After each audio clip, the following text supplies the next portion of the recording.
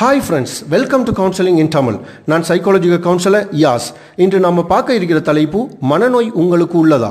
வாருங்கள் ஐந்து நிமிடங்களுக்குள் சோதித்து பார்ப்போம்.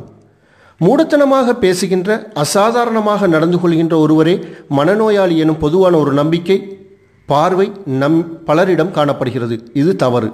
ஒருவர் மனநோயினால் பாதிக்கப்பட்டுள்ளாரா என்பதை இனம் காண ஒரு பொதுவான வினா பட்டியல் ஒன்று என்னிடம் உள்ளது. மனக்கோளாறுகளை கண்டுபிடிப்பதில் இவ்வினாப்பட்டியல் அகில உலக அளவில் பரவலாக உபயோகிக்கப்பட்டு வருகிறது. இலங்கை இந்தியாவில் நடாத்தப்பட்ட ஒரு ஆராய்ச்சியில் இது எம் நாட்டிலும் பயனுள்ளது என்று நிரூபணமாகியுள்ளது இது உளவளத்துணை செயன்முறையில் ஈடுபடுகின்றவர்களுக்கும் முதல்நிலை சுகாதார பணியாளர்களுக்கும் பெரும் பயனுள்ளது என்று கருதப்படுகிறது. ஒருவர் தானாகவும் இதை பூர்த்தி செய்து பார்க்கலாம். இது மனக்கோளாறுகள் பற்றிய ஒரு பொதுவான வினாப்பட்டியலே எந்த ஒரு குறிப்பிட்ட மனக்கோளாறுக்கும் உரியது அல்ல. பொது ஆரோக்கிய வினாப்பட்டியல் கடந்த நாலு வாரங்களில் உங்கள் மனநிலை எப்படி இருந்தது என்பதை கண்டறிய கீழ்காணப்படும் வினாக்களுக்கு பதிலளிக்கவும் ஒவ்வொரு வினாவுக்கும் இரண்டு விதமான விடை அளிக்கலாம்.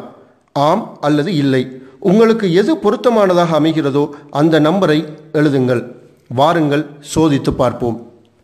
இரவில் தூங்குவதில் உங்களுக்கு ஏதாவது பிரச்சனைகள் இருக்கின்றதா? உங்களது நாளாந்த விடயங்களை செய்வதில் விருப்பமற்ற நிலையை உணர்கின்றீர்களா? அண்மை காலமாக கவலையாக அல்லது சந்தோஷம் இல்லாமல் இருக்கிறீர்களா? ஏதாவது ஒரு விடயத்துக்காக நீங்கள் பயப்படுகின்றீர்களா? எப்பொழுதாவது உங்கள் வாழ்க்கையின் கசப்பான அனுபவங்களை மற்றவர்களோடு பகிர்ந்து கொள்ள இன்னும் சந்தர்ப்பம் கிடைக்கவில்லையா?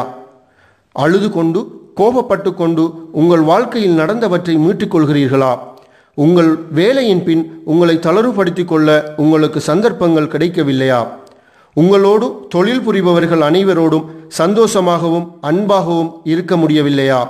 செய்யும் காரியங்களில் கவனம் செலுத்த முடியவில்லையா? வாழ்க்கையில் உங்களை பயனுள்ள பாத்திரமாக கருதவில்லையா? தினசரி விடயங்களில் உங்களால் முடிவெடுக்க முடியவில்லையா? எப்போதும் நெருக்கடியில் இருப்பதாக உணர்கிறீர்களா?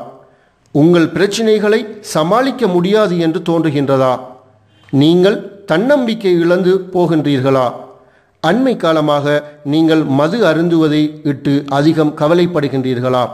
இவற்றுக்கு பெரும்பாலான கேள்விகளுக்கு ஆம் என்ற பதில் வந்தால் நீங்கள் ஏதாவது ஒரு பிரச்சனையில் இருக்கிறீர்கள் என்று அர்த்தம்.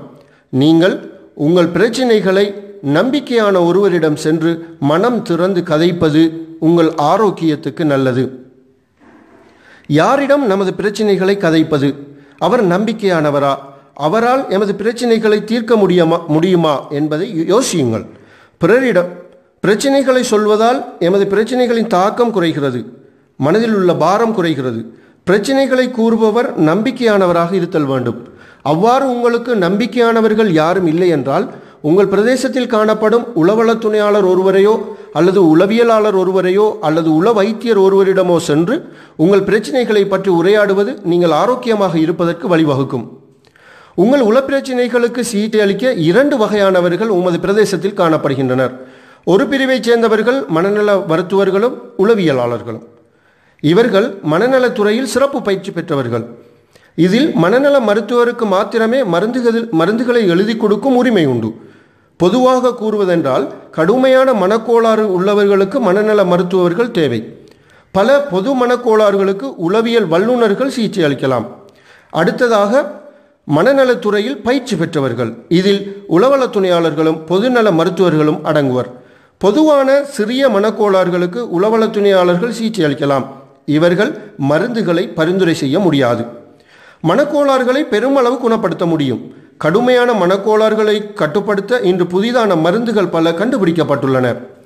மனோவசியம் அல்லது ஹிப்னோட்டிசம் என்று இன்று பலரால் மேற்கொள்ளப்பட்டு வருகிறது. இது ஒரு தோல்வி அடைந்த வழிமுறையாக காணப்படுகிறது. இந்த முறையினால் மனக்கோளாறுகளை குணப்படுத்த முடியாது. எந்த ஒரு பொது மனக்கோளாறுக்கும் கவுன்சிலிங் பயனுள்ளதாக இருக்கும். கடுமையான மனக்கோளாறு உள்ளவர்களுக்கு பல துறைகளை சார்ந்த குழுக்கள் மூலம் சிகிச்சை வழங்குவதே சாலச் சிறந்தது எல்லா மனக்கோளாறுகளுக்கும் குடும்ப ஆதரவு தேவை. எந்த நோயாளிக்கு குடும்ப ஆதரவு கிடைக்கவில்லையோ அந்த நோயாளி குணமடைவது கஷ்டம் அல்லது குணம் அடைந்தாலும் அவர் மீளவும் அந்த பிரச்சனைகளுக்குள் உள்ளாகுவது பெரும்பாலான சந்தர்ப்பம் இருக்கும்.